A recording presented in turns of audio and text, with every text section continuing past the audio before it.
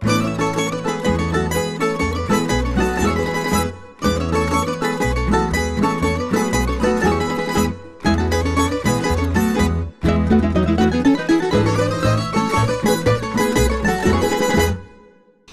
Drage naše i drage naše vrijeme za još jednu putopisnu reportažu, to smo mi. Danas se nalazimo u Brodsko-Posavskoj županiji, naime nalazimo se u Kruševici, e, gdje smo u obiteljskom dvorištu našeg, naših dragih prijatelja Marije i Josipa Miloševića. Naime, Marija se dugi niz godina bavi izradom e, raznih ručnih radova i rukotvorina, stoga uživajte zajedno s nama u još jednoj putopisnoj reportaži, to smo mi.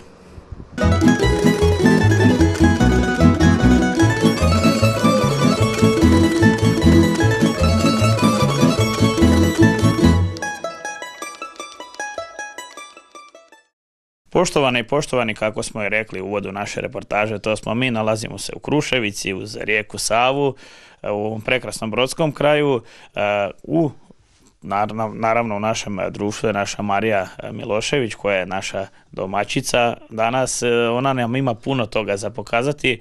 E, Marija, prije svega lijep pozdrav i hvala što ste nas ugostili. Hvala i vama što ste došli. Da, e, Marija, vidjet ćemo danas e, kroz cijelu našu reportažu, to smo mi, da puno iza, iza vas imate puno e, vrijednog ručnog rada, svega imamo ovdje danas ovdje kod vas za pokazati. Da, tako je. Imamo od šlinge do zlatoveza, do, mislim, šlinga i vez, različito. Evo, sve je različito. Mhm. Pa dobro, onda ćemo najbolje krenuti odavde e, od početka. Vi ste to sve lijepo poslagali kad ste me nazvali, rekli ste dođite što prije dok je ovo sve izloženo, pa evo možemo to je, redom, To je sve moja snaha se ovaj, osmislila i rasporedila po sobama, tako je na to zamislila da to tako mora biti mhm. i onda je na to sve osmislila, a ja sam radila da se razumijemo. Ovako, to je sve sada šlinga ve, sa vezom, jel da, vezu boji, to je sve šlinga. Ovo su otarčići koji su, kako bi rekla, tkano, to je tkano utkavano, jel da. Slike su zlatovez i vez zajedno sa šlingom. Uglavnom to je sve u boji, mislim miješano, jel da su u boji. Mhm. Ovo su čoškovi koji idu u regal, ili špicevi, već mhm, zavisi mhm. kako neko kaže. Ima raznih eh, naziva, da. da. Vidim ove eh, kao sunčane motive, ima li to malo i poveznice možda i sa sikirevcima? Jeste, to kao sikirevački motivi, da. Mhm. Ali ja njih radim, ovaj, ovo je upravo raditi, oni su ručno, a ja radim njih mašinski, vidjet ćete tamo na drugom otačiću, koji radim ja sa mašinom jednostavno radim. Uh-huh, uh Kad ste zapravo počeli raditi ove ručne radove? Počela sam ručne radove raditi još kako sam cura bila, ali sam morala, normalno prvo sam radila sebi, onda sam se udala, onda sam dalje nastavila raditi, imam dvije kćeri i sina, nastavila raditi svojim čerkama, jer to je kod nas običaj da cura kad se udaje mora nositi ruvo, jel da, i mhm. tako onda sam se trudila da sam radila. Sada imam unučice, tri i sad nastavljam dalje tako je, i za njih, a njih, evo i oni će nešto da, od vas one, naučiti. Da, da, tako je. Da, e, kako smo došli kod vas ovdje u dvor, e, stvarno jako lijepo, onaj pravi e, šokački slavonski štih. Vidjeli smo zapravo da ste jedno pravo tradicijsko domaćinstvo. Tako je. Mhm, imate svega osim evo ovih... Osim južnog rada imamo i životinje, znači bavimo se poljoprivredom, to je to. Mhm, odlično, dobro. Da se mi vratimo na ove prekrasne, e, pa sad vidim trenutno da peškire uh, gledamo da. tako. To su, da, peškiri ili kako se kaže, ovo su otačići, mi kažemo otačići na košarice, znači ovi su tkani e, utkavano crveno, a ima koji su samo šlingani, ja sam šlingala dole, jel da, da to bude nastavak tome tkanome, a ima dalje, vidjet ćete peškiri, ne peškiri u stvari otarci, kod nas se kaže otarak, jel da, koji se meče na svatove, mhm. kada su ljudi, kad su svatbe, onda se meče, jel da, kumovima, e, starom svatu, e, djeveruši, djeveru, domaćinu, znači tako, sedam peškira, kada kćer udaje, što je i svekru se večer prikaže kao dar snaha metne oko vrata mm kad dođe u salu. Onda samo za jedne svatove bude puno posla. Pa bude, da, bude, ali je to lijepo. Mhm. I vidim na svim tim otarčićima, e, jastucima, ima različitih e, motiva. Mislim da se sa šlingom i sa tkanjem i sa svim tim tehnikama može puno toga napraviti. Može, da, jako puno. Mislim, sama sebi u glavi složim šta bi ja i kako bi. Mislim, ima ž- gospođa koja to ispisuje mustre, ali ja svaku mustru još sebi dodam nešto iscrtam da to bude bogatije, bude ljepše, eto tako. Mhm.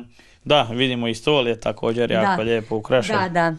Stol je upravo, stolnjak je upravo sa ovim jasučićima, jel da?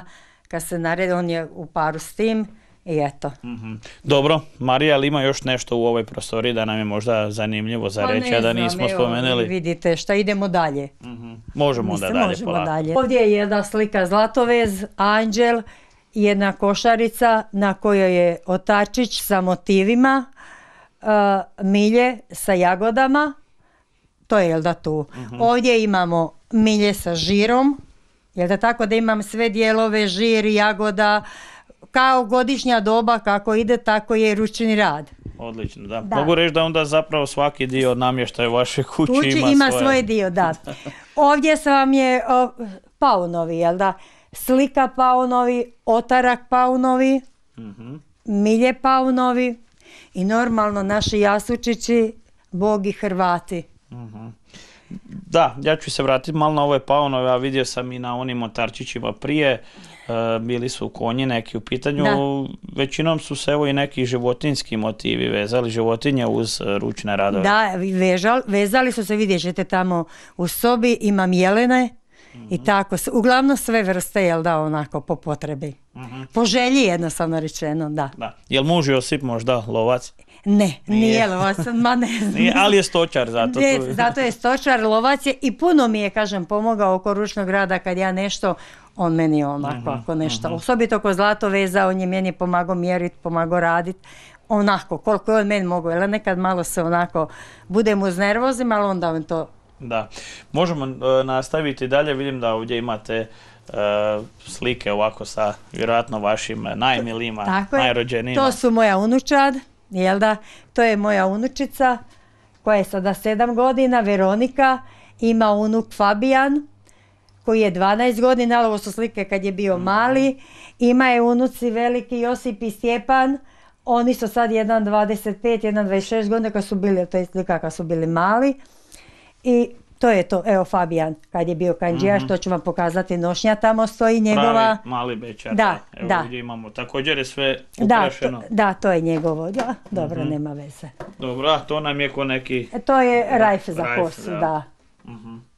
Dobro, A dobro, ovdje na, na, na ovom... e, Ovo vam je isto peškir koji ide, u stvari otarak, jel da, koji se sveže na čuturu starome svatu, to je kraći, jel da, ovo su veliki, to je kraći, ovo je normalno milje, jel da, za komodu i to je to.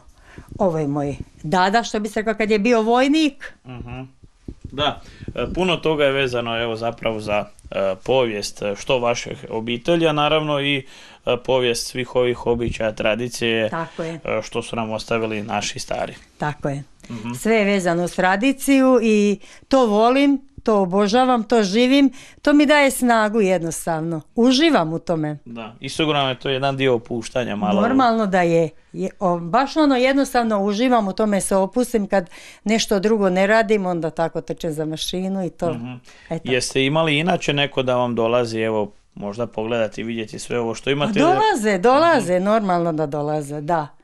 I sama, ono, imala sam ovaj izložbu prije neki par godina tamo u sali, u čitaonici, ali je bilo nas više žena. Ali ja sam sada htjela sama za sebe. Kad ste sve ovo izvadili van iz e, ormara što ste Nisam imali? izvadila sve, puno je što ga ostalo koje nisam mogla, stolnjake nisam vadila, još ostale ponjave koje idu nisam, nema se gdje, tako, htjela sam samo ono baš što mislim da, da je sada ovo novije i tako. Mhm, Dobro, idemo mi onda još vidjeti što nas zanimljivog čeka.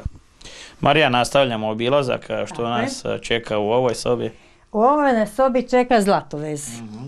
Znači ovdje imamo ovako, ove jastučiće, to je sve radi to zlatom preko papira. Sve te slike i ova flaša. Dok milja i otačići ovi koji idu na svetenje ili, mislim, na većinom idu na svetenje, neka se to stavljalo na tace, neka se nosila kumovska čast, to je preko papira, a ovi nisu, oni nisu raditi preko papira, to je obično, jer se to mora prati, jel da, i onda nije preko papira rađeno, već obično rađeno. Da, jel radite možda i po narudžbi? e, za Jesam neko- radila prije u početku, sam radila slike i ove jasučiće, jako sam puno toga radila, ali sada već, već dugo ne, ne. Sada radim, kažem, svoje djeci, tako neki imaju unučad Mhm. uspomenu i Da, zlatovez je pogotovo ono što ljudi vole i kad vide, to ih asocira svakako Da. i na Slavoniju, na Posavinu, i sve ono što se može izvesti zapravo sa tim. tako je, tako vezom. je, da. Mhm. I sigurno imate i tu puno ideja i svega onoga Pa što to i može... samo upravo i dođu ideje kad počneš raditi, na primjer sada ovo ovako, ne znam preko konca, to se radi te kockice, pa križići, to se nekada reklo bake stare katorenje. Mhm, mhm. Da ne bude samo običan konaci kao ove crtice, jel da, već se to tako puni da bude kao ispunito kao katorenje. Evo tako imate i ovdje Mhm. i ovdje na ovim na ovome milju, to je to. Dobro, ja ću se malo E sad ovo da. vam je ovo vam je vez, jel da, u boji i šlinga u boji po žutome. Mhm, Od kog je to materijala? Pa ovo je damast. To Mhm. je damast, jel da? To je sve damast. Mhm, Da, vidim da je malo drugačije Da, od da, ovih to je ostalih damas, radova da, što smo do da, sad vidjeli. Da. E, Evo i za čaše se mogu neke kao salvete Pa to praviti, smo da. tako htjeli. Pa nekada se stavljalo kao salvetice u čaše kad je kirva ili nešto, onda su se stavljali salvetice. Jel da na stolu to je bilo normalno prekrasno. A sada više to ne. Mhm. To sad dolaze Da, ali ja ću se vrijeme i to je to. zahvaliti prije svega što ste nas e, primili danas, e, evo vrijeme kad se snima emisija Kirvaju u maloj kopanici, jel Da, tako? tako je. Kirvaj u maloj kopanici, pozvani su na Kirvaj, ali stićemo mi, nema Da. problema. U svakom slučaju. Na Kirva se uvijek stigne. Ma jel tako? uvijek, da. Marija, sada ćemo objasniti od čega se zapravo sastoji narodna nošnja koja se nosi e, ovdje u Kruševici, ali evo specifična je možda i za neka ostala okolna mjesta. Da, tako je. Ovo je kruševačka nošnja, jel da, zlatovez, e, pletenica, kruševačka pletenica, djevojačka koji su nosile djevojke. Djevojke nose pletenicu, snaše nose šamio. Ovo je marama ili čošak, jel da, sa zlatom vezen preko papira. Ovo je oplečak, isto koji je vezen zlatom preko papira na svili. Pregača isto je preko kartona vezena na svili. Svila isto, da. E sad rubina, ona je po tkanju, prutovi su posebno tkani, o, vezani na platnu i našivani na Na nošnju, na da, na da. rubinu, na Mhm, rubinu. To se kaže. Rubina ima pet prutova.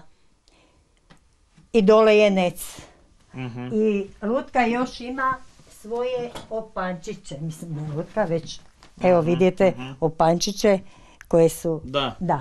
Možete. Marija samo ovdje malo e, prema meni pa da snimimo lutku, evo i sa Može, prednje može. strane e, smo Dukate spomenuli naravno. Da, da, ima dukate, zakiti da i dukatima i cvijetom, jel da? Mhm. Marama je, smo rekli također. Da, jesmo, rekli smo da, zlatovez. I- Sve je vezeno preko papira. Mhm.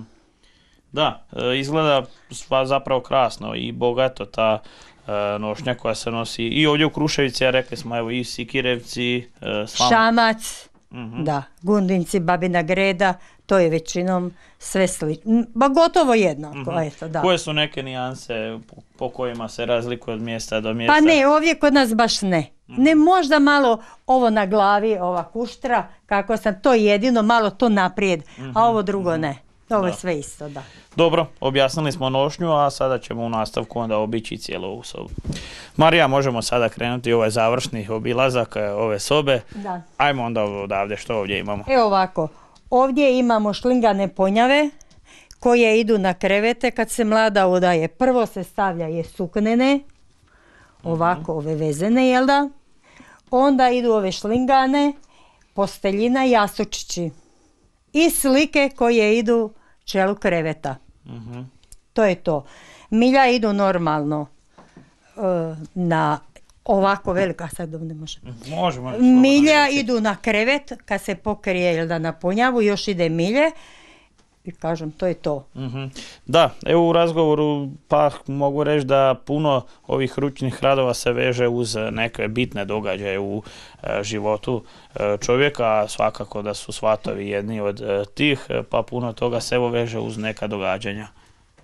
Pa tako je, većinom se, e, kad su svatovi, to se najviše vidi, jel da? Jer to Onda kod nas se pokazat kaže, sve. onda se pokaže šta mlada ima i to je to, dos- mislim, mladenačka soba, jel da? Mhm. Ja sam upravo, evo i ovu lutku radila svoje kćeri kad se udavala, jel da?